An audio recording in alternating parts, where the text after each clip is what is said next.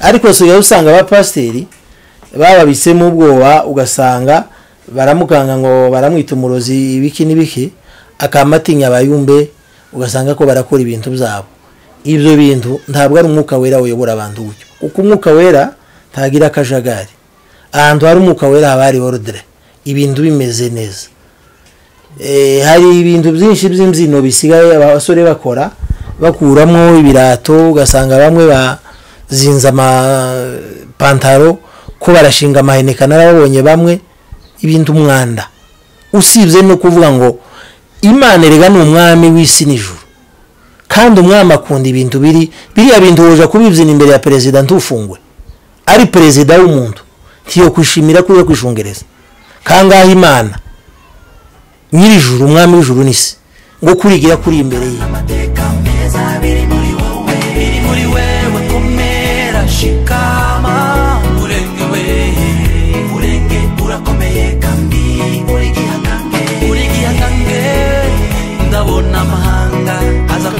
Kuri mugenzi wacu hano nawe atubwire twumva ko mu myizerere yanyu mutemera ko umugore yaba umuhanuzi ndetse ngira ngo yanagira resiponsabiliti runaka mu itorero. Twebwe dufite abapasitori dufite ababishopu b'abagore cyane hano nko muri iki gihugu cya kenya turimo iyo bishopu ari we nyiri urusengero umugore we agomba kuba reverenti cyangwa akaba pasiteri.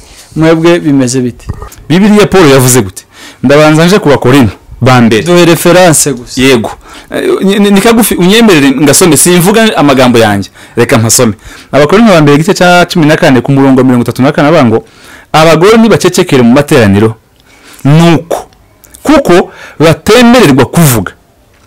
Ahubwo baganduke nk'uko amategeko na yo avuga. Turi mu buntu ariko n'amategeko na yo nk'uko yabafataga. Ni nako n'ubuntu bafata. Kandi nibagira icyo bashaka kuba kumenya.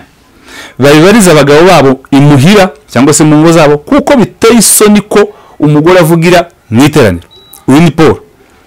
Iyo ni iteraniro mu ikanisa cyangwa n'ahandi nk'aha twicaye. Kongeregasiyo iyo ari yo yose ni iyo ari yo yose. Ariko amate- iyabera iyo usomye haruguru ko nk'uko bimeze mu materaniro yose yabera rero paul yari ko haza bamwe atarayabera yes bazishita- baziyita amatorero ariko ayabera ntagomba kuvuga. Timoteyo wa mbere igice cya kabiri ku murongo wa cumi na kabiri we aravuga ngo kuko nanga ko umugore yigisha cyangwa ngo ategeke umugabo ubwo rero abagore bateka abagabo nabo ba- ba- babyumva cyangwa se abagabo bahahaza abagabo. Barabamaze. Niko kubahaza. Ahubwo agira ituze. Uwo ni umugore. Kuko adamu ari we wabanje kuremwa nyuma hagakurikiraho eva kandi adamu si we wayobejwe. Ahubwo umugore ni we wayobejwe rwose ahinduka umunyabicumuro. Iri ni ijambo ry'imana rivuze ku mugore. Si njyewe si furere uyu nguyu si abafurere muri rusange twebwe rero turi abantu bagendera ku byanditswe. Kandi iyo dusomye icyanditswe dutera gusa amen. Bibe nk'uko biri. So wowe niba kuko wabajije ikibazo cyawe niba hari bishopu iwanyu w'umugore eh, nawe wo kwibaza kubera iki? Ese ariko nabo ba- bagendera ku byanditswe. Yego niba babigenderaho kuki hari aho bivuze ngo uretse no kuba bishopu wenda cyangwa revera ni urundi rwego no kwigisha. Ntanagomba no kuba umwigisha ngo aje kuvuga ubutumwa. Uzababazaho ntaho no kuyobora amateraniro gute ese mu ijoro hazaba abagore n'abagabo naho? Mu ijoro hazabaho abantu kuko wibuke ko uriya mugani yesu wabajije ti umuntu yari afite umugore arapfa. N'ubu nawe aramushaka nawe amugira umugore. Kugeza ku bavandimwe barindwi gatanu barindwi. Yego. Aramubaza ngo se ku munsi w'umuzuko ni ikibazo babajije yesu. Bizagenda gute? Umugore azaba uwande? Yesu aravuga ngo mu ijoro ntabwo hazabaho umugore cyangwa umugabo. Abantu bose bazaba bameze nk'abamarayika. Yego. Ni ukuvuga ngo ibintu bijyanye n'uburinganire byaje mwebwe ni kirazira uburinganire kuko furere yabikubwiye byazanywe na leta y'umwijima cyangwa se ubwami bw'umwijima. No mu nzu. Kuko itorero rya mbere rihera mu rugo. Ubonye ko timoteyo yavuze ngo n'umugore uhaza umugabo. Ntabwo ari ukuvuga ngo ni umugore ufite ikibazo. N'umugabo nawe afite ikibazo. Agomba guharanira uburyo umugore atagomba kumuhaza. Utamukubite kandi akijijwe. Si ukumukubita iyo umugore ahaje urugero umugabo aba yigize umutwe. Kandi no mu kinyamurenge aba umugore avuga ngo nta rutugu. Rusumba ijosi. Kangaho umutwe? Umugore ntabwo ari umutwe. Umutwe w'urugo ni umugabo. Kandi umugabo agereranywa nande na kirisito iyo umugore ahaje umugabo kandi umugabo agereranywa na kirisito umugore akagereranywa- akagereranywa n'itorero ry'umwami yesu kirisito n'itorero rya Kri- ry'umwami yesu kirisito riba rihaje kirisito kandi ntibibaho. Kirisito ni we muyobozi w'itorero. N'umugabo ni we muyobozi w'urugo w'umugore agomba kuba ari hasi y'umugabo. Uko na haleluya no kubyina igisirimba ntabwo ntabwo babyemerewe. Ikihe haleluya kuba yahaguruka ngo atere haleluya. Icyo wita kubyina igisirimba niyo haleluya. Sinzi hari haleluya rim- zimwe wenda nubwo ndi umufurere ariko nza nsura rimwe na rimwe insengero ukumva wenda barangije kubyina igisirimba ukumva umuntu ngo reka ntereza haleluya hari n'ubwira ntaguciye mu ijambo hari n'ubwira undi ngo nyanaka nahaguruke anterere haleluya zirindwi. Turabyumva mu baporo okay biriya ni iz'abaporo nta handi biba. N'abagatulika ntibabikora. Ndibwira ko na- n'andi moko ntabikora. Ni iz'abanyamurenge kandi hari ukuntu abanyamurenge baza bishira imbere ku gakiza bakumva nk'aho rimwe na rimwe ari imana ivuga. Ariko nawe barimo niba uri kubavuga muri rusange. Na- navuze abanyamurenge b'abaporo kuko njyewe sindi umuporo kandi sindi umunyedini. Kumva ngo ngo umunanterere haleluya. Cyane cyane ko ko bazitera ngo zirukana abadayimoni. Kandi mu by'ukuri hari n'ikintu nje na- napinga wenda gitandukanye n'ikibazo ariko birajyanye. Biriya bintu zo kwirukana abadayimoni kuko nico haleluya cyane bazitangira. Ngo iyo muteye haleluya ngo abadayimoni ngo hari ibintu bihunga kandi ntaho bije. Urugero uko yuko bitemewe muza mushamburiya bimwe na rimwe ibiheko. Kandi gushamburiya ni icyaha. Reka mbivuge gutya. Iyo ushamburiye wowe uri umuyumbi ukiyita umuyumbi ugashamburiya ni icyaha. Yesu yivuzeho iki? Wibuke umugani bamubajije ngo ya- yatanze umu- umugani w'umuhinzi. Wagiye guhinga abiba amasaka. Ingano amasaka cyangwa ingano. Arangije ngo umuhinzi u- amasaka cyangwa se ingano? Ariko ngiye gusarura nsanga ah, cyangwa se ngiye mu murima nsanga hamezemo n'urukungu. Wibuke ko urukungu n'abana baseke ibi ni abapagana abantu bose bakora ibyaha. Ingano zigeranywa n'abana b'imana. Baramubaza ngo se mbigenze ngende nshikure urukungu. Yesu aramubwira ngo ya reka bikurane. Kugeza umunsi w'isarura. Umunsi w'isarura ni umwe nyine muza muvuga ngo ni umunsi w'imperuka. Umunsi bazababwira ngo baza gusobanura nyine intama n'ihene. Icyo gihe uzafata urukungu amasaka y'abana b'imana. Kuyafata ni iki? Itorero rizabanza rigende. Risige abantu batari itorero Ura- urakoze rutasha. Abagore bahaza abagabo muzaja muzaba ihene abandi babe intama. Niko byumvikanye ni amasaka n'urukungu bizakurana. Ndagira ngo metero yatwunganiraho gatoya wavuze ibintu byo gushamburiya no gutera hareruya no kubyina. Ni ibintu dukunze kubona mu bantu bitwa abayumbe babarizwa mu matorero y'abaporo. Kubyina igisirimba ubu bamwe bari mu gushinga amaheneka abandi bagatembagara abandi by'ukuri babibona ukagira ngo ni siporo barimo. Ariko muri kiritike z'abantu na analize bamwe bakavuga ati kuriya ni ukwishongereza ni ubuyayu ni amarangamutima abandi babyumva bakavuga ati nta mbyino ibaho yo kubyinira imana.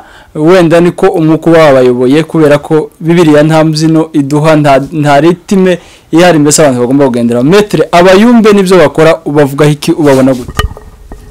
Abayumbe abayumbe uhereye no kuri iryo jambo naryo ndirisobanutse. Abayumbe iryo jambo uvuze umuyumbe cyangwa abayumbe ni intumwa. Ururimi rw'igiswahili bitije barugira ikinyamurenge ariko nabwo ntibabisobanura neza. Abayumbe cyangwa mubyumbe cyangwa wajumbe mu giswahili niko bivuga. Bivuga intumwa ku bwinshi cyangwa imwe. Kandi nta ntumwa itagira ubutumwa. Intumwa zose zigira ubutumwa. Ariko ni uburenganzira bwabo kuba iryo zina baragihaye kandi rigatakaza nka sanse yari rifite mu giswahili. Bagiye bahindura amazina abantu basenga imana habaga ha- habanje abo tutabonye bitwa ba maruba. Nyuma yabo haza ba busoka none muri iyi minsi hari abitwa abayumbe usanga bagwiriyemo urubyiruko bafite n'indi myitwarire yenda kumera nk'ukwabo. Cyane bagwiriyemo abantu babyina igisirimba nibo usangamo impano zo gushamburiya nibo benshi usangamo impano zo kwerekwa. Ibintu nk'ibyo noneho ugasanga basa n'abifatiye bugwate amakanisa. Ba pasiteri batakigiramo ijambo ibyo na byo mbona n'undi mwuka waje utari mwiza. Ubundi pasiteri ikanisa itorero rimeze nk'urugo. Ni nka kurya umugabo mugenzi wanjye yabivuze umugabo ni we mutwe w'urugo. Pasiteri burya ni we mutwe w'itorero kongeregasiyo yiwe. Niwe kirisitu w'akaga kanisa gatoya. Kuko umugabo ari kirisitu w'umugore wiwe. Umugabo n'umugore ni nka kirisitu n'itorero. Umugabo ni we kirisitu muri rya torero ritoya ryo mu rugo. Kongeregasiyo na yo cyangwa iteraniro pasiteri waryo ni we mugabo wa ririya kanisa ryiwe. Ijambo ryose kirisitu ashaka kubwira ikanisa igomba guca muri pasiteri. Niwe mukuru cyangwa ni we mutwe wa ririya torero. Ariko usigaye usanga abapasiteri bababitsemo ubwoba ugasanga baramukanga ngo baramwita umurozi ibiki n'ibiki akamatinya abayumbe ugasanga ko barakora ibintu byabo. Ibyo bintu ntabwo ari umwuka wera uyobora abantu gutyo. Kuko umwuka wera ntagira akajagari. Ahantu hari umwuka wera haba hari orudire ibintu bimeze neza. Hari ibintu byinshi by'imbyino bisigaye abasore bakora bakuramo ibirato ugasanga bamwe bazinze amapantaro ko barashinga amaheneka narababonye bamwe ibintu umwanda. Usibye no kuvuga ngo imana erega ni umwami w'isi n'ijuru. Kandi umwami akunda ibintu biri biriya bintu wuje kubibyina imbere ya perezida ntufungwe ari perezida w'umuntu. Ntiyo kwishimira ko uri kwishungereza. Kangahe imana? Nyir'ijuru umwami w'ijuru n'isi. Ngo kurigira kuri imbere yiwe. Ahubwo no kwitagihana benshi ubutaka buba bubamira kigeca abakora. Ariko kubera ko imana idahana ubu nyine bakabona umuntu ashinze amahene karigaraguye arabyutse aratashe ejo akazagaruka akabikora. Bakamugurira n'amata. Bakamugura n'amata cyangwa ahubwo akabiriramo. Abantu bakagira ngo none ni byo byiza. Ariko biriya ni ubuyobe. Biriya ni ubuyobe nta mwuka wera uri hariya hantu. Rero abayumbe yego harashobora kuba harimo abantu bazima basenga n'ubushake. Ariko habe nuko gusenga kwabo umuntu wese utazi gahunda y'imana ijyanye n'igihe arimo. Karakorera imana hanze y'ubushake bwayo. Imana ushobora kuyikorera ukavunika cyane ariko waba ukorera hanze. Ni nko gukoresha amafaranga yapfuye. Iyo amafaranga amafaranga dufite inoti zapfuye ejo bundi izi noti z'igihumbi. Ziriya noti nubwo uzana inoti igihumbi zarutwa n'ubushiringiro bumwe cyangwa atanu. Kuko zifite ni mone akuru legare niko babyita. Ni iza none. Ugiye mu isoko ukajyana ziriya noti zashize bavuga ngo uyu muntu ni umusazi ni mu muhambire niyo mpamvu n'iby'imana iby'iki gihe ni bwo bushake bw'imana. Ariko kuyikorera mu byashize ni nk'umuntu umanuka akajya kubaza inkuge hariya ngo ubwo yasomye akabona nawe yarayibajije nawe akayibaza akayipamba yamara ngo ayinjiyemo. Umwuzure ntiwoza nubwo yakoze ibyo abandi bakoze. Ukwiye gukora ibyo imana ishaka muri kiriya gihe. Rero ibyo ishaka izi abantu zikabwira abantu ubutumwa babazanye babureba isi yose nubwo abantu baba bamagana. Abahanuzi bose bukuri barabamaganye. Ibya nowa se nibangaye babyemeye? Abana be batatu n'abakazana be batatu n'umugore gusa. Isi yose irapinga. Ariko ntibizatumye bitaba ukuri n'ibindi niko. Ibi ngibi bazamenya ko ari ukuri igihe cyabarenze. Nowa bamenye ko yavugaga ukuri imvura itonyanze batacinjiye. Nta n'umwe wicujije ngo ngo abone amahirwe yo kwinjira. Yesu yaravuze niko bizongera kumera. Abahanuzi bose b'imana baraje barabamagana barabica babata amazina yo kubatuka. Ariko imana igira imbabazi ariko igira n'umujinya. Umujinya wayo uzuza turotare. Iguha amahirwe hakiri kare byakire ugirirwa ubundi winjire. Ariko iyo byamaze kugucika biba byarangiye. Ndagira ngo dusoza kuri ico c'abayumbe. Naganiriye nabo batandukanye babyina nka kuriya barizwa mbese muri iyo dipatimenti y'abayumbe. Bambwira ko ibyo bakora na dawudi yabikoze kandi ari umwami yatambaga. Rero sinzi igituma mutabyemera kandi bo babyumva kandi nabo bumva hari ijambo ry'imana bashingikirije. Okay njyewe icyo kintu nogisubiza mu buryo bubiri. Mbere nakubwiye hari ijambo nagumye gusubiramo byenda cyane ariko ni ukugira ngo uryumve. Ni irivuga ko ugomba kuramya imana mu buryo bujanye n'uko ihayiramwa cyangwa uko yemera bayiramya muri icyo gihe. Dawidi yari mu gihe cy'amategeko. Bari mu gikari itorero ry- ry'imana rifite ibice bitatu haba mu buryo bufatika eh, ingando mose yubatse yari ifite ibice bitatu nariya hekaro salomo yubatse yari ifite ibice bitatu n'itorero ryo mu mwuka naryo rifite ibice bitatu. Igihe cya davidi hari mu gihe cy'ibikari ikibuga cyo hanze. Ibihe birindwi by'itorero hari ahera none n'ahera cyane kino gihe cya nyuma. Rero dawidi uko yabyinye baza banabivuga amafuti. Dawidi yarabyinnye umwenda urakenyuruka ntabwo yawukenyuruye ku bushake. Warakenyurutse ariko atabyitumye.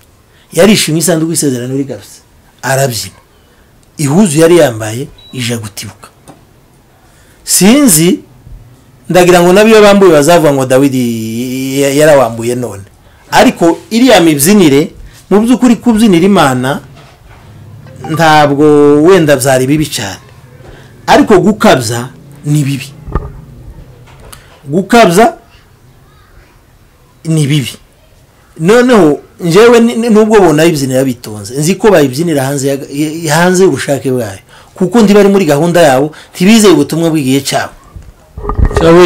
Aho ni ho nka bukabizinira uri muri gahunda yayo hahandi bagomba kuyiramiriza. Ariko iyo iri mu bya- byagize ni hanze y'ubushake bwayo nta- efe bigira. Byabaye expired. ntunganiye mwene data. Eh, mu by'ukuri sinibwira ko muri bibiliya havuga kubyina. Havuga gutamba nyine koko na dawidi yaratambye ariko gutamba ubundi hatangwaga ibitambo. Niba yaranatambye cyangwa se akoresheje kubyina buriya mwitero ukagwa ndibwira ko atari wowe ugushije kubera ko bibiliya ivuga iki mu bintu bijyanye? Mu by'ukuri iyo abantu barimo kubyina bari abantu bita gusirimba bakoresha umwuka. Ariko ntibakoresha ubwenge. Nk'uko furere yabivuze imana ifite icyubahiro nk'uko bishopu yubahwa cyangwa se perezida w'igihugu runaka kubahwa n'imana yo igomba kubahwa. Kuko n'ubundi icyubahiro cyose ni icyayo. Paul yabivuze iki? Iyo usomye sindi nda- ndabaha referanse mugende muhasome. Abakorinto ba mbere igice cya cumi na kane ku murongo wa cumi na gatanu. Haravuga ngo nzasenga. Nsengesha umwuka. Ariko kandi nzakoresha n'ubwenge. Hari abantu baza babaza ngo twebwe turi abanyamwuka ukaba ugenda gusa gukora ikintu urabyina wanamubwira ngo ibi ni- iby'umwuka kwita umunyamubiri. Yego akakwita umunyamubiri. Urugero wabona umuntu ko ashinga amaheneka imbere ya sebukwe n'imbere ya nyirabukwe. Cyangwa umukazana ashinze amaheneka imbere ya sebukwe. Kandi agomba kubaha. Agomba kubaha imana cyane mbere agomba no kubaha abantu ba- ba- bari aho ngaho. Noneho gabo museka aza kwita umunyamubiri akwite gusa ngo wowe waje gusa n'umubiri. Kandi mu by'ukuri ubwenge ni paul bivuga. Dusengeshe umwuka turirimbishe umwuka ariko kandi dushiremo n'ubwenge kubera ko hepfo aravuga ngo ese nusengesha umwuka? Wa wundi utawufite. Biramumarira iki? Nta kintu azunguka ntazanavuga ngo wamena kubera ko nta kintu na kimwe wamufashije. Rero kugisirimba mu by'ukuri kubyina ntawe babuza kuko furere bivuze barenze barenze ihaniro kube- kubera ko abapasiteri ntibakivuga. Hari n'abo ngewe nzi singiye kuvuga izina kayole ku rusengero runaka inzu uwo watutswe inzu n'uwatutse kuko yashatse kuzana nyine bya bintu byo kubaha mu rusengero ati nimukajyamo kuko yari yahagarikiye habaha igisirimba kimwe. Hari igihe baza bagisirimba kimwe umwuka wa mwinshi umaze kuvuga bakavuga ngo banza wicara twongere twongezeho ikindi. Aravuga atoya ikanisa rifite hari hari ordre. Rero ibyanyu bizarangiye aramubwira ngo ya hazaho gukabirizanya mu rusengero. Urumva ubwo ntabwo ruba rukiri urusengero kubera iki? Wa mwuka yakoresheje ko nta bwenge. Kuko yemeye umwuka uramukontorora. Kandi paul yavuze iki?